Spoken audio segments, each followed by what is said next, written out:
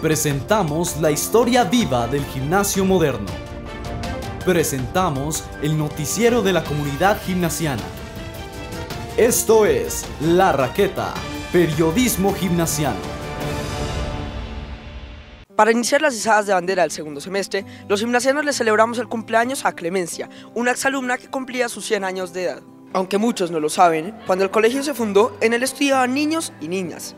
Esto ocurrió hasta 1927, cuando don Agustín, Jorge Durana y Camilo Sáenz decidieron fundar el gimnasio femenino. Hasta esa fecha, estudiaron las niñas en el moderno, en lo que se llamaba el jardín de niños.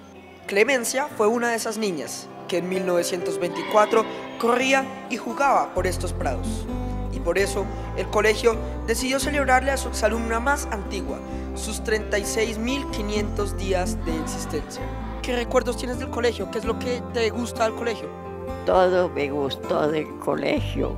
Sí, me acuerdo perfectamente de todo, de las clases, de todo.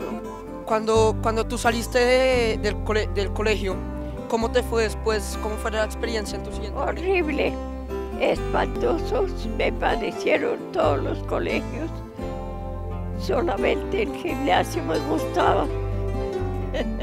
Recordar nuestra historia y honrarla es la mejor forma de mirar hacia el futuro, sin olvidar los principios que dieron pie a nuestras ideas. Informo para la raqueta, José Pablo Barrios.